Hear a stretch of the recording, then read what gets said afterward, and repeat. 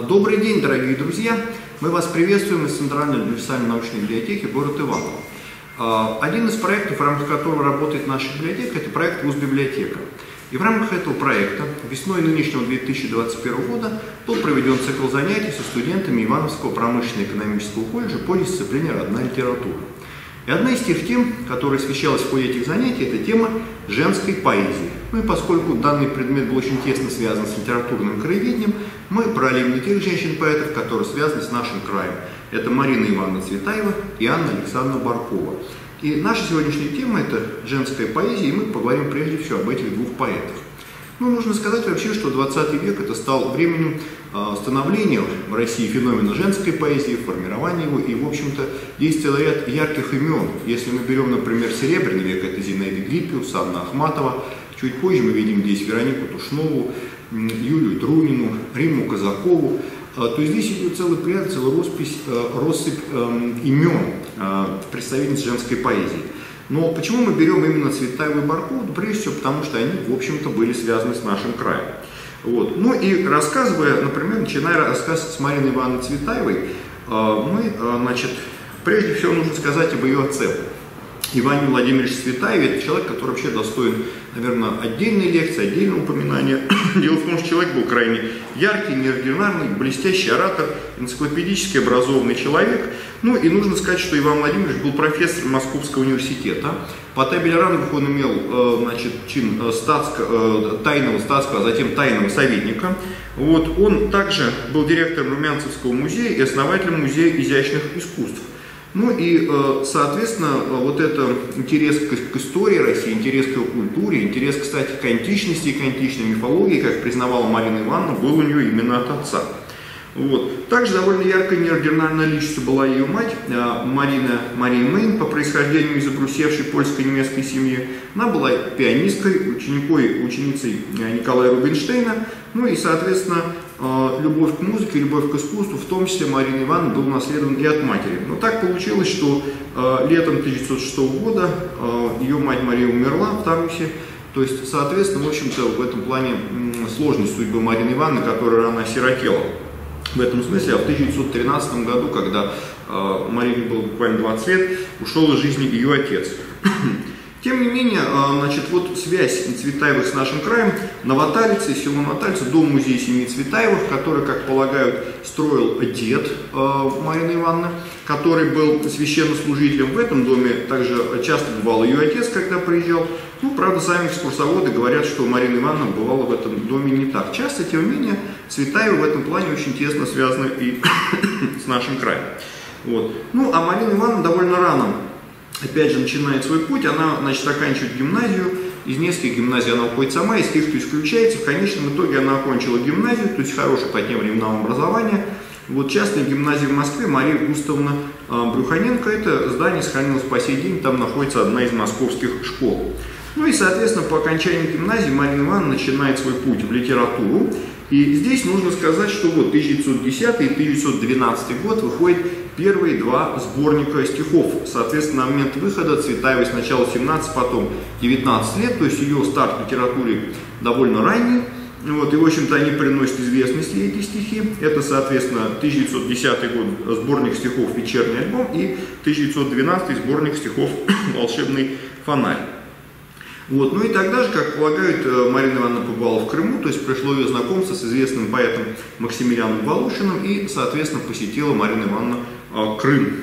Вот. Ну и далее, соответственно, к этому же времени, к юности относится ее знакомство с Сергеем Эфроном и, соответственно, свадьба с Сергеем Эфроном. Вот. И, соответственно, их брак продлился, в общем-то, вплоть э, официально до смерти э, Марины Ивановны. Вот, и, соответственно, отношения их были, конечно, довольно сложными, драматичными, сопровождались э, расставаниями. Ну и, в общем, тут наложил отпечаток, конечно, и те события, которые произойдут в истории страны.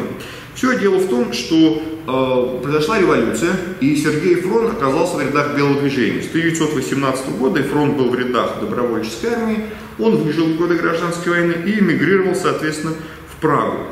Сама же Цветаева в период гражданской войны, в общем, находилась на советской службе. Она э, служила в Народном комиссариате национальностей, э, в Центральной коллегии о пленных и беженцах. Ну и в 20-22 год она работала в театральном отделе наркомпроса.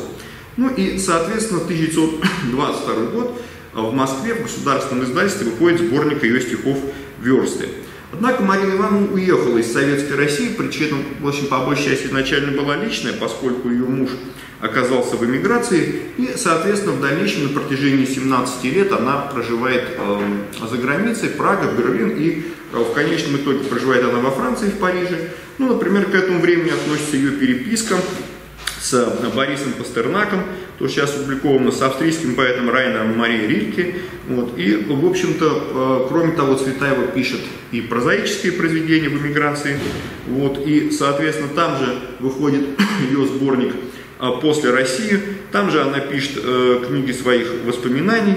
Ну, например, она пишет воспоминания о встречах с Максимилианом Волошиным, Михаилом Кузьминым, Андреем Белым. Вот, пишет, соответственно, прозаические произведения «Мой Пушкин», «Мать и музыка», «Дом у старого Пимена» и так далее. То есть, в общем-то, ее творческая деятельность за рубежом была довольно э, продуктивной. Вот. Ну и, соответственно, э, как э, ну, те, кто знал Марину Ивановну, отмечают, что, в общем-то, возвращаться в Советскую Россию, с тем Советский Союз, у нее желания не было.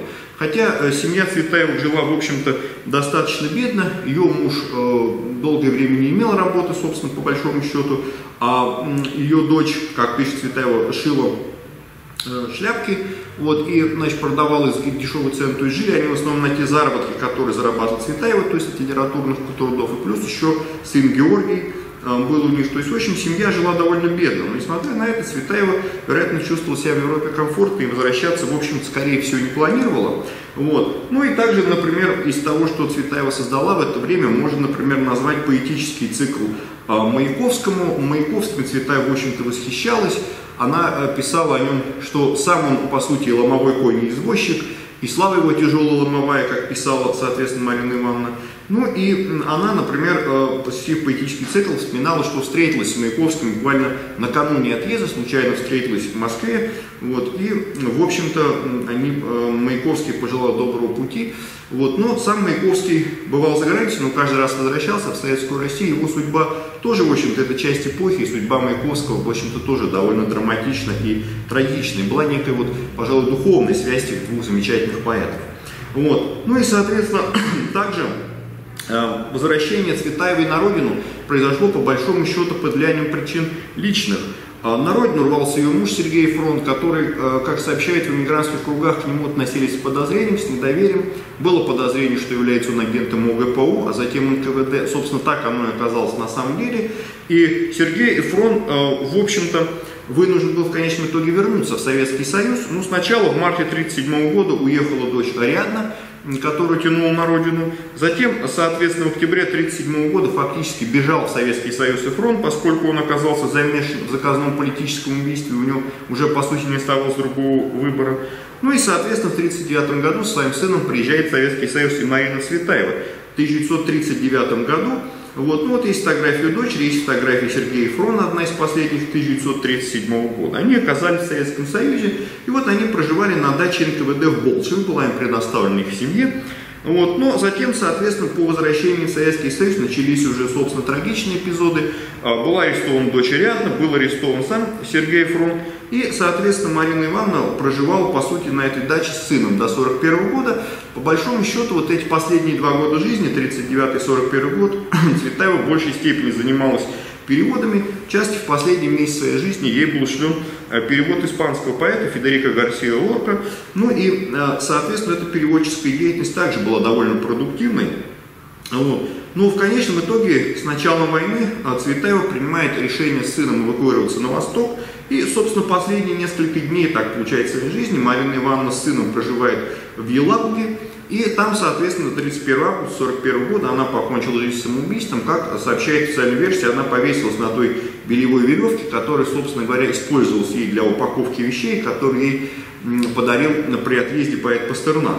Вот. Ну и, э, соответственно, это вот трагическая смерть. Э, смерть в основном ну, вызвана даже наверное, не, не только Великой Отечественной войной, которая шлась в это время, но и в большей степени разочарованностью в жизни, некой душевной болезнью, в общем-то, ощущением себя чужой, по сути, на своей родине. Ну и, соответственно, в Елабуге также есть дом-музей Марины Ивановны Цветаевой, она похоронена в этом городе. Ну и, соответственно, есть бюст, э, посвященный нашему замечательному поэту. Вот. Ну и, соответственно, вот это было, по сути, последнее пристанище. Ну и теперь мы а, некоторые стихи хотелось прочесть Марины Ивановны, потому что ее творчество было очень э, известным. И вот э, стихи, которые, соответственно, были опубликованы вот в этом первом сборнике, вот у нас есть издательство «Имка Пресс», «Волшебный фонарь», вторая книга стихов, это репринтное издание, то есть это переиздание с того издания 1912 года. Книга, она посвящена Сергею Эфрону. Вот. Ну и вот э, здесь мы используем некую иллюстрацию, собственно, одной из самых известных стихов Марины Ивановны, э, «Домики старой Москвы». И здесь, мне кажется, очень хорошо подходит в качестве иллюстрации картина художника Поленова «Московский дворик». Слава прабабушек томных, домики старой Москвы, Из переулочков скромных все исчезаете вы. Точно дворцы ледяные, по мановению же зла. Где потолки расписные, до потолков зеркала, Где клавесина аккорды, темные шторы в цветах, Великолепные морды на вековых воротах, Кудри, склоненные к пяльцам, взгляды портретов в упор, Странно постукивать пальцем о деревянный забор. Домик, домики знаком породы, с видом ея сторожей. Вас заменили уроды, грузные в шесть этажей. Домовладельцы их право, и погибаете вы, томных прабабушек слава, домики старой Москвы.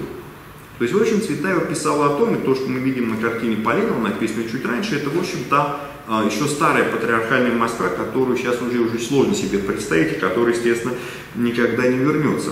Ну и в этом же сборнике, кстати, было э, посвящение э, Сергею Эфрону, собственно, которому был посвящен этот сборник. Это стихотворение, э, одно из последних в этом сборнике, называется оно «Из сказки в сказку». Это как раз часть любовной лирики многочисленных стихов, написанных Мариной Ивановной. «Все твое, тоска по чуду, вся тоска апрельских дней, все, что так тянулось к небу, но разумности не требует. Я до самой смерти буду девочкой, хотя твоей. Милый, в этот вечер зимний, будь как маленький со мной, удивляться не мешай мне, будь как мальчик страшной тайне, и остаться помоги мне, девочкой, хотя женой. То есть это написано стихотворение, в общем-то, а, в самом начале супружеской жизни ее Сергеем Эфроном. Вот. Ну и далее, соответственно, мы знаем, что творчество Марины Стаев получило продолжение, были написаны а, песни на ее стихи, ну, исполнение песни, мы знаем, исполняла Борисовна Пугачевой. Ну, а здесь, э, соответственно, вот эта история с еще и песней «Я тебя отвоюю», то есть одной из самых известных стихов э, Марины Ивановны. Ну и, соответственно, это было положено на музыку, композитор Игорь Крутой, э, вот, исполнил эту песню Ирина Аллегрова, и, в общем, эта песня в свое время получила одобрительный отзыв музыкальных критиков, и также режиссер Тигран Кисаян был снят этот клип, посвященный этой песне. Ну, единственное, надо сказать, что э, сам режиссер и этот клип получили хорошую порцию критики со стороны православной общественности, прежде всего за, то, что, в общем-то, режиссер довольно вольно обошелся с каноническим текстом из Библии. В общем, так интерпретировал довольно вольно, по сути, библейскую историю. Но, тем не менее, такой интересный клип и, точнее, интересный эпизод, когда, э, значит, стихи Цветаева были положены на музыку, исполнены.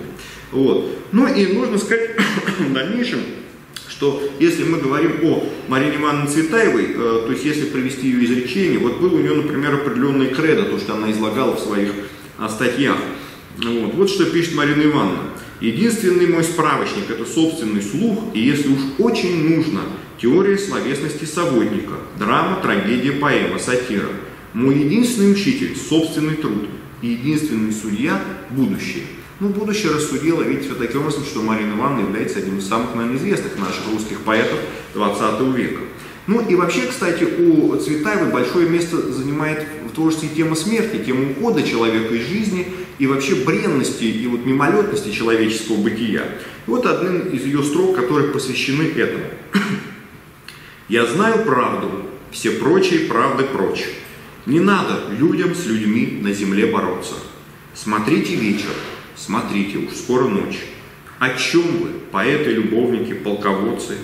Уж ветер стелится, уже земля в росе, Уж скоро звездное в небе застынет вьюга, И под землей скоро уснем мы все, Что на земле не давали уснуть друг другу.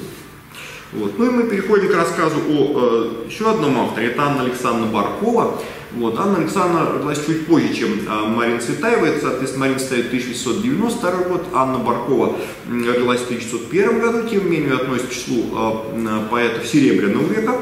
Вот. Ну и нужно сказать, что Баркова родилась в 1901 году в городе Иваново-Вознесенск. Вот, то есть она является нашей землячкой. Вот, и тут э, нужно отметить, что она оказалась пятым э, ребенком в семье Александра Баркова и единственным выжившим ребенком. Ну, о ее детстве родителях известно очень немного. Известно, что Анна Баркова училась в гимназии, где работал швейцаром ее отец. Эта гимназия располагалась в том здании, где ныне находится 10-я поликлиника города Иваново. Вот это здание, оно сохранилось. Ну и, соответственно, она окончила гимназию. И с 1918 года Баркова работает в газете «Рабочий край», активно публикует э, стихи и, в общем, довольно быстро приобретает известность здесь, в Иваново-Вознесенске. И э, ее стихи попадают в Москву, и в 1922 году она перебирается жить и работать в Москву по приглашению Народного комиссара просвещения Анатолия Васильевича Луначарского. Работает она в, наркома... Э, в в аппарате наркомпроса, затем, соответственно, она работает активно уже в столичной печати, в центральной прессе, в частности в газете «Правда». Ну и, соответственно, начинает выходить сборники. Вот это сборник ее стихов «Женщина», вышедший в 1922 году. Предисловие к нему пишет Луначарский. В 1923 году выходит ее пьеса «Настасья Костер». Ну и вообще 1920 годы это популярность Ахматовой там, в столице, в Москве, Ей восхищается, ее называют пролетарской Ахматовой, э, ее называют женским лицом русской революции. Ну и, соответственно, в общем, ее стихи вполне соответствуют духу эпохи, вот эта мятежность, революционность, богоборчество. Э, Баркова, естественно, приветствует революцию 1617 года, она приветствует победу большевиков в гражданской войне, она вот такой вот свой, по сути дела, народный пролетарский поэт. Ну и, соответственно, ее работа в печати, не только в газете «Правда», но активно работа в журналах «Голос кожевника», «Ударник нефти» и так далее. Ну и, соответственно, э, работает она также в качестве сотрудника в отделе политпросвещения, выступает с лекциями и так далее. То есть, по сути, она была частью вот той эпохи становления 20-30-х годов. Ну и, соответственно, история была так, э, вот эта вся ее деятельность обрывается в декабре 1934 года. Это э, первый арест Анны Барковой. Впоследствии она будет арестована еще дважды. Ну, соответственно, в чем была причина ареста? Вот. Ну, вообще рассказывают, что Баркова э, в узких кругах жалость, э, рассказывала антисоветские анекдоты, неоднократно говорил, что писатели в СССР не могут развернуть свою творческую деятельность, что мешает жесткая цензура, критиковал вот эти складывающиеся порядки, тоталитарное государство и так далее. Также есть версия, что тогда, после убийства Кирова, 1 декабря 1934 года, она в узком кругу сказала «убили не того». Ну, то есть, э, на кого она намекала, было всем понятно, соответственно, был донос, и Баркова в скорости была арестована. Ну вот фотография из ее личного дела датирована 27 декабря 1934 года. Ну и, соответственно, на следствии Баркова вины своей не отрицала. В общем-то, она признавала, что действительно рассказывала анекдоты и говорила против советской власти что-то. Ну и, соответственно, э, Баркова оказалось особое совещание при НКВД СССР, которое имело право внесудебных наказаний. Оно вынесло приговор 6 лет заключением в исправительном трудовом лагере, и Баркова оказалась так называемом Карлаге, Карагандинском лагере в Казахстане, где она находилась в течение шести лет. Ну и, соответственно, с 1940 по 1947 год Баркова находится в Калуге под надзором полиции. Вот, работает она уборщицей, сторожем, бухгалтером различных организациях. Ну и, соответственно, в 1947 году происходит повторный арест Барковой. Э, дело в том, что та женщина, у которой она снимала квартиру, ее дочь утверждали и написали давно, что Баркова неоднократно критиковала социалистический строй, клеветала на советскую действительность, говорила об отсутствии свободы слова, ругала Сталина. Ну и, соответственно, далее Баркова предстала перед Калужским областным судом, который приговорил ее к 10 годам заключения в исправительном трудовом лагере. Оказалось на этот раз Баркова в лагере в Инте, где находилась до 1956 года, впоследствии была э, выпущена. Вот. Ну и, соответственно, далее Баркова переезжает в район города Ворошиловград, нынешний Луганск, на территории, вот, значит, находится на территории Украинской ССР. Ну и, соответственно, э, буквально через год, в 1957 году, несмотря на оттепель, на то, что шли наоборот революционные процессы, она была арестована в третий раз и приговорена Луганским областным судом к 10 годам лишения свободы. На этот раз она скитается по лагерям, э, бывала в Сиблаге, Озерлаге, Дубровлаге, так называемом, и так далее. Ну, ее, э, значит, друзья, в это время находящиеся на воле, писали активно письма, ходатайствовали о досрочном освобождении Барковой. Ну, в конечном итоге в мае 1965 года Пленум Верховного суда Украинской ССР отменил приговор в отношении Барковой за недоказанностью обвинения, и она была выпущена из мест лишения свободы. Дальнейшем Анна Александровна с 1965 по 1976 год проживала в Москве, вот ей предоставили комнату в коммунальной квартире, выплачивали пенсию, ну и, соответственно, по большей части занималась последние годы Баркова тем, что опять же активно писала, а она, кстати, писала стихи на протяжении всей своей жизни, и находясь в лагерях, и между лагерными отсидками, очень активной в последние годы своей жизни. Ну и, соответственно, вот, стихи ее, правда, в общем, публиковались довольно мало. Также сообщается о том, что э, большую часть своей той же пенсии тратила она на книги, очень много читала, была у нее коммуналка практически такая домашняя библиотека, ну и активно встречалась с различного рода литераторами, которые приходили к ней. Вот. Ну и, соответственно, умерла Баркова в Москве 1976 год. Но публикации ее стихов, правда, э, пошли далеко не сразу. Вот. Ну и, соответственно, вот есть фотографии, значит, э, Барковой, его тюремного периода, так называемого. Вот так выглядела Баркова, есть ее фотография, сохранилась э, в последние годы своей жизни. Ну и, соответственно, в дальнейшем начинают выходить сборники стихов, вот изданию сборника стихов «Вечно не та», вот, или, например, изданию прозы дневников «Восемь глав безумия». Вот. Ну, а также нужно сказать, что Барков вообще заслужил довольно высокую оценку. Еще о молодой Баркове писали и давали такую положительную оценку ее творчеству Блок, Брюсов и Пастернак – Евгений Евтушенко, когда составлял свою антологию «Строфы века», а, написал в предисловии, что Баркова является одной из лучших поэтесс 20 века и ставил ее в один ряд с Ахматовой и Цветаевой. Вот. Надо сказать, что сама Баркова по своему характеру, по сути, была человеком сложным. Она была человеком э, невоздержанным, совершенно неосторожным, открыто, совершенно посторонним, малознакомым людям высказывала свои взгляды, не боялась их. Ну, и, в общем, скорее всего, Баркова не была уж настолько глупым человеком, чтобы не понимать, что им может дать расправы, что ее отправят в тот же лагерь, и, может быть, даже расстреляют.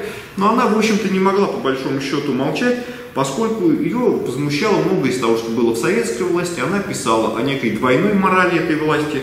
У нее есть такие строки «одно лицо для посвященных, другое для наивных масс». Она критиковала стандартизацию жизни, критиковала то, что замена личности вот этого человеческого «я» неким безликим «мы», которая произошла в советском обществе, говорила о том, что в обществе существует предательство и доносительство, творятся кумиры и создаются, все, э, то есть вся страна превращается в некий всеобщий барак, в некую всеобщую тюрьму.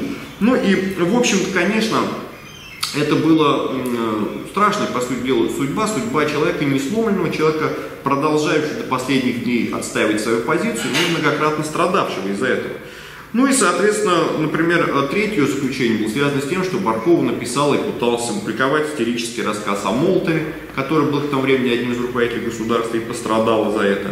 Ну и также Барков в последние значит, э, в 50-е годы написал, например, повесть «Как делается луна». Эта книга была интересной темой, изучали политологи, потому что в этой повести Баркова предсказал, во-первых, смещение Хрущева, которое произошло в 1964 году, и предсказал многое из тех реформ, которые произошли уже в годы перестройки, во второй половине 80-х годов. То есть, как у многих крупных авторов, дар предвидения у Барковой также, безусловно, был.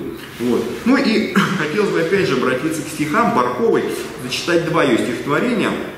Ну, а первое стихотворение – это вот то, что мы говорим о родине и родовых корнях. То, что когда-то мы говорили по поводу Бальмонта и а, по поводу поэта Ноздрина Иван, Ивановского. Вот. У Баркова есть такое стихотворение «Дочь города». Написано в 1920 году, и, естественно, оно посвящено значит, Ивану Вознесенскому. То есть для нее родиной был вот этот город, город э, промышленный, город революционной традиции, революционной славы, и совсем еще юной девушке Баркова прожила здесь и революцию, и гражданскую войну. И вот что она написала в 1920 году. Вот это, кстати, один из сборников стихов, который в фондах нашей библиотеки, он называется «Возвращение». Вот. А стихотворение 1920 год «Дочь города». «Дочь великого города я, мне неведом простор полевой, колыбельная песня моя, опьяняющий шум городской. Я тревожно люблю города, их победную власть и позор. Пустота деревень мне чужда, и небесный не радует взор. Я горячий дитя мостовой, знойным летом она меня ждет. Обнаженный лишь ступишь ногой, жаркой лаской тот час обожжет. Ветер города скованный раб, укращенный и злобный орел. Он с тех пор присмирел и ослаб, как из вольных просторов ушел. Но порой он вспомнит, что был беспощадным и грозным царем, и из всех исчезающих сил ударяет о стены крылом. Я великого города дочь, но безжалостен мрачный отец. Городская мучительно ночь, стережет меня страшный конец. Дети города, нам суждено чашу ужаса разом испить. Ну так что ж, все равно, все равно, будем город великий любить. Ну и еще одно стихотворение, уже э, написанное, если посмотреть по дате издания, 1952 год, написано оно, значит, получается, в Инте, в период второго ареста и второго тюремного срока, который был, соответственно, у Анны Барковой. Она называется «Герои нашего времени». Это вообще тема очень интересная, потому что у каждого человека есть какое-то поколение, в рамках которого он вырос, есть его сверстники. Ну и, соответственно, здесь Баркова пишет э, о тех людях, которые, в общем-то, были ее сверстниками, тех людям, которым в тот момент было где-то слегка за 50, скажем так, тех людей, которые были ровесники века, родились, скажем, в 1901, 1900, 1902 году и так далее. И вот что пишет Баркова, то есть о тех людях, что пережили эти люди. Пережили они многое, революцию, гражданскую войну, и э, коллективизацию, массовой репрессии, и Великую Отечественную войну, и послевоенный голод, и все что угодно. Это действительно было то поколение, которому пришлось вынести на своих плечах очень много, и весь груз вот всего того, что было в стране. И вот на эту тему Баркова пишет э, стихотворение «Герои нашего времени». Героям нашего времени не 20, не 30 лет – тем не выдержать нашего времени. Нет. Мы герои, веку ровесники, совпадают у нас шаги. Мы и жертвы, и провозвестники, и союзники, и враги. Ворожили мы вместе с Богом, занимались высоким трудом, золотистые хранили локон и ходили в публичный дом. Разрывали с народом узы и к народу шли в должники, надевали толстовскую блузу, вслед за горьким брели в босики, мы испробовали нагайки староверских казацких полков, и тюремные грызли пайки, и расчетливых большевиков, трепетали за видеоромбы, и петлиц малиновый свет, от немецкой прятались бомбы, на допросах твердили «нет». Все мы видели, так мы выжили, биты, стреляны, закалены, нашей Родины злой и униженной, злые дочери и сыны. То есть вот это очень сильное по своей значит, содержащее творение, посвященное, в общем-то, поколению Анны Барковой.